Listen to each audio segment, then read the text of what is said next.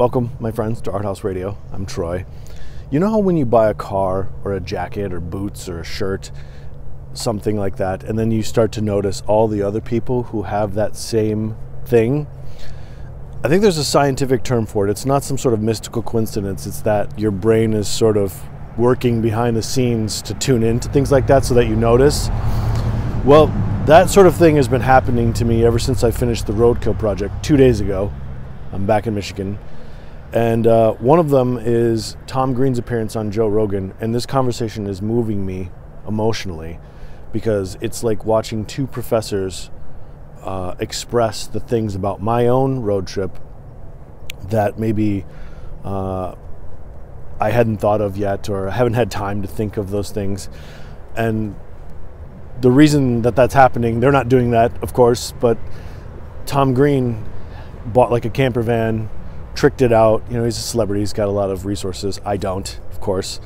Um, Patreon.com slash arthouse radio if you want to get me there. I'd love to do what he's doing. He's he's taking his camper van and and living off of the things that he brought and cooking his food in the Utah desert, and the Mojave desert, and the New Mexican desert, and he's he's out there making podcasts and making music and creating things. Um, which is obviously that's what this roadkill project um, was at least in part about. Um, but he, it, it's the things that they're talking about that uh, I, I feel like they're articulating things much better than I can. And so in this episode, I, I just wanted to talk about three things basically. One, why I did the trip initially. Two, talk about the things that, at least at this point, have revealed themselves to me to be things that will affect me for the rest of my life or that that have uh, I don't know that that have had this huge impact on me. And thirdly, just to talk about why I did the trip from the other end of the trip's perspective, because a lot of the times, for me at least, when I start out doing something, the end result is not what I thought it was going to be. And that's definitely the case here as well.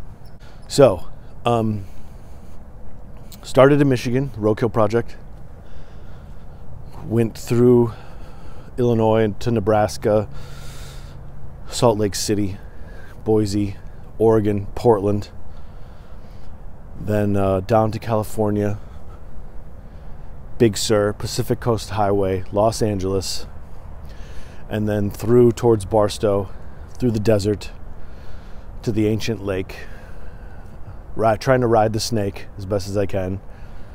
Uh, Grand Canyon, Flagstaff, Arizona. Don't forget Winona. I think Flagstaff before, or maybe it was about the same. Actually, Grand Canyon, then Flagstaff, yeah.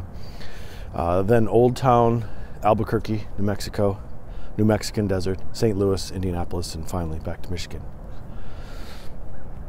This is the year of the pandemic, obviously, 2020.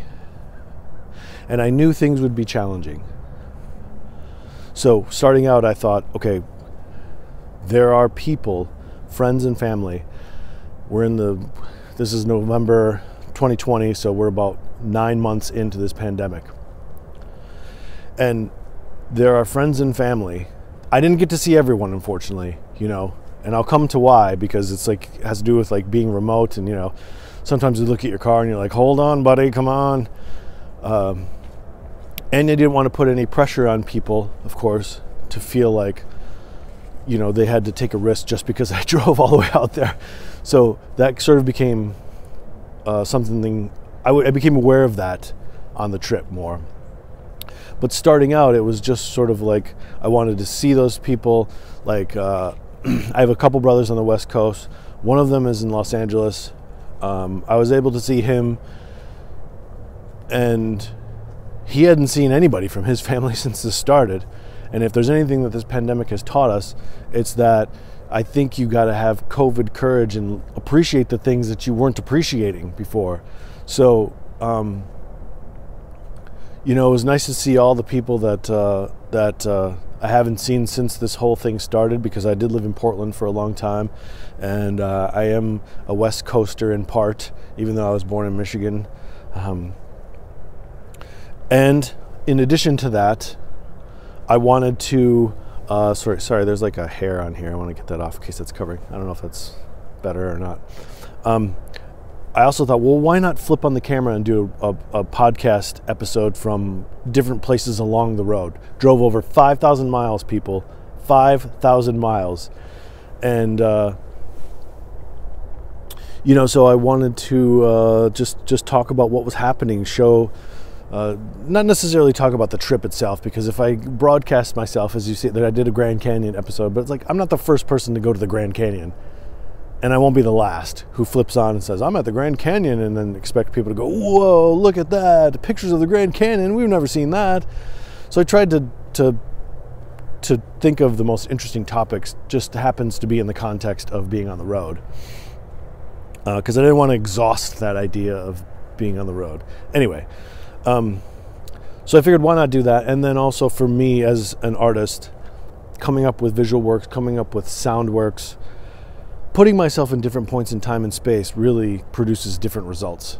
Uh, maybe that's a common thing, I don't know. But uh, changing locations for me, I start to connect with different things and different thoughts and then before I know it, even if I wasn't creating a ton on the road, I start to think about those experiences and I can sort of conjure them up, and that um, and that sort of like brings about these in, these these works that have like an even if it's slight, it'll be like an interesting twist to them.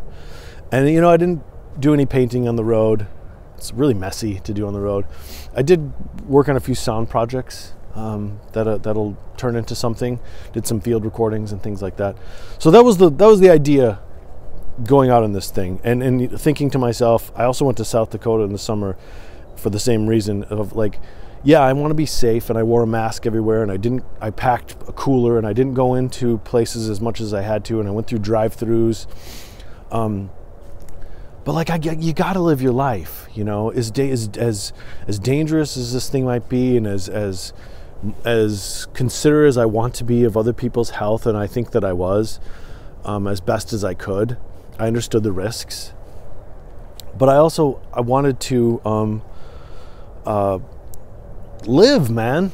You know, be out. I'd never been to the Southwest, the the New Mexican desert. Uh, I was close to Los Alamos and uh, Area 51 and all those things. I love talking about aliens and thinking about aliens.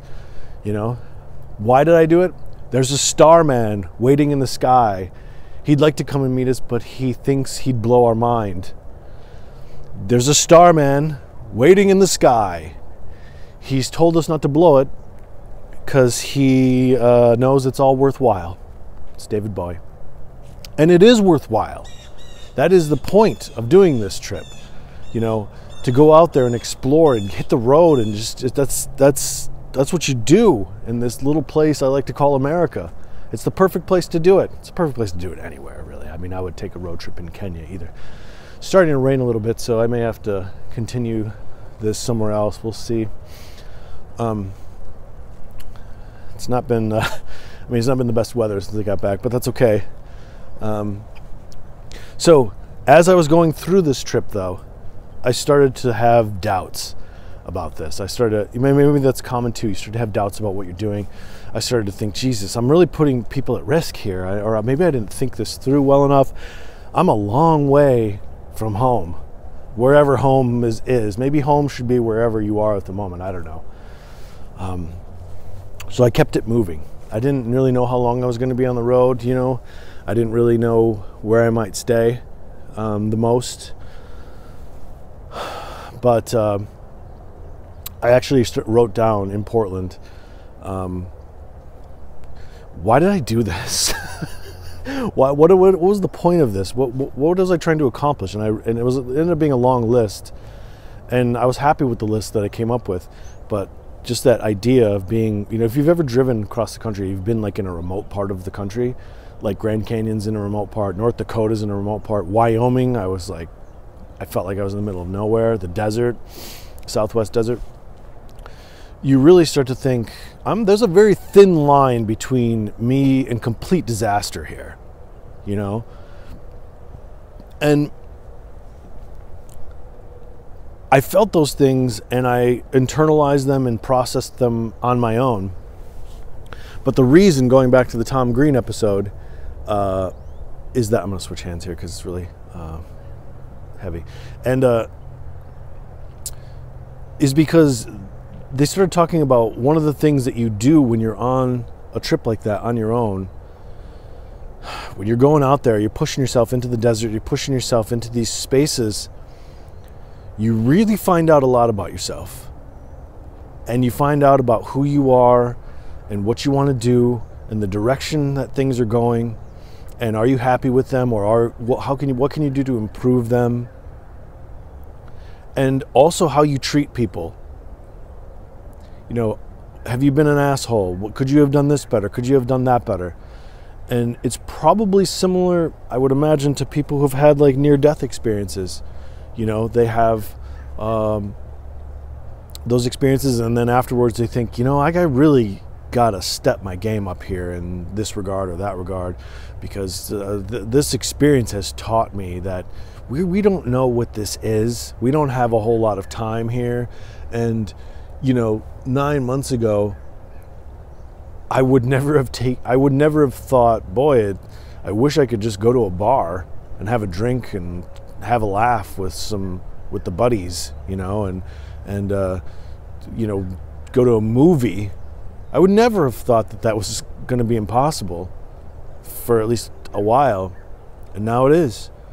And I just did a road trip, and I kept thinking the whole time along the way that, uh,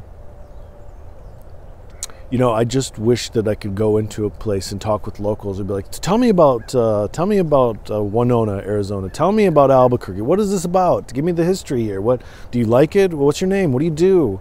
You know, those kinds of things." and uh, but you can't. And uh, you know, I I would say two of the biggest highlights along the way for me, even without that, um, I did a lot of hiking, but uh, the two of the big things were Big Sur, California, and the Grand Canyon. You know, in terms of just like seeing nature, because that was a huge part of this trip too. Um, and I mean, there's no word, there aren't words that can articulate those experiences. Like, I can't tell you in a podcast what those places are like, but just that you, you learn, or I learned at least, about how I am simultaneously insignificant and very significant at the same time, which is a weird thing, and I'm still going to have to process that. But you know, after this trip was over, I want to keep this under 15 minutes if I can. After this trip was over, I started thinking about uh, what happened, and basically, what I came down to was something that I already mentioned, which is trying to figure out who I am, the direction of things, and you know, do I like where things are going? And the answer to a lot of that is yes.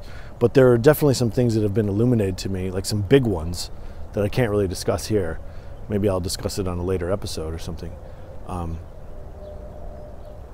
but it, it, it, was great. I mean, I don't know how many states, maybe 14 states, and uh, I got to see so many things. Uh, I think Kansas and Colorado are now the only states I haven't been to west of uh, Michigan, maybe give or take.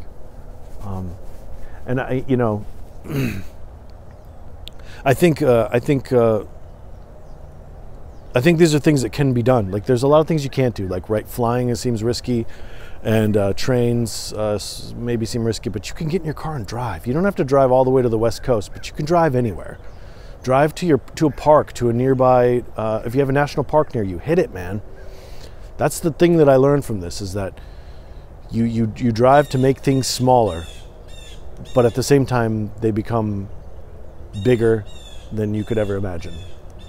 All right, I'm going to end it here, and I'm going to come back and talk on another episode about this at arthouse.radio, at Spaces with Light, uh, and patreon.com slash arthouseradio. I love you guys.